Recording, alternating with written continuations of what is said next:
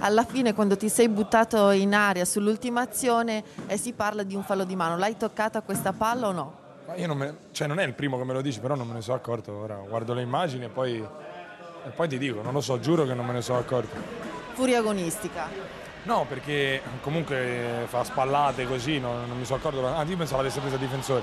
Ma comunque intendono il primo cross, non il cross dove è nato il gol.